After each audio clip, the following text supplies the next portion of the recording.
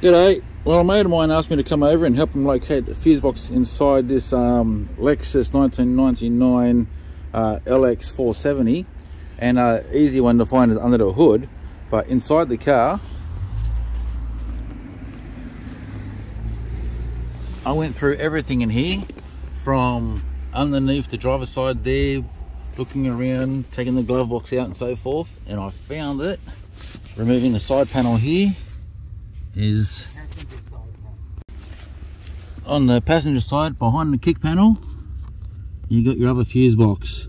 So we're trying to find out why he's got alternator problems. And the bigger problem was trying to find where this fuse box was.